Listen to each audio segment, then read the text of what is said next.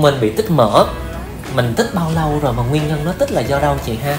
Chị thích ờ, tầm cỡ một năm mấy rồi. Một năm mấy? Nguyên nhân của chị là khi có bầu à. Sinh em bé chị thấy bị tự ti ừ, hầu như bạn bè đồng nghiệp của chị nhận lại là nói trời ơi là mập á Ờ, nó thẳng là mập nó quá thẳng đó. ra mặt quá. Ờ, nên mình ngại mình ngại mình không mình nhiều khi mấy bạn rủ đi chơi cà phê chụp hình chị lười đi lắm chị Ừ. không đi tại vì mỗi lần đi là phải chụp hình với bạn á. Ờ. Nên ngại thì không buồn nha. Nhưng mà kiểu như là càng quyết tâm làm lẹ lẹ đi. càng quyết tôi lấy mở ra chị chị có biết không?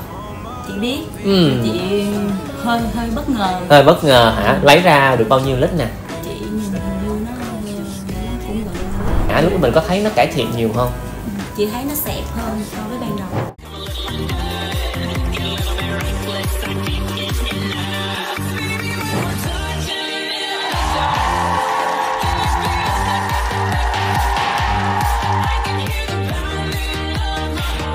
Chọn Libo Ultrasound có eo thon nhẹ nhàng.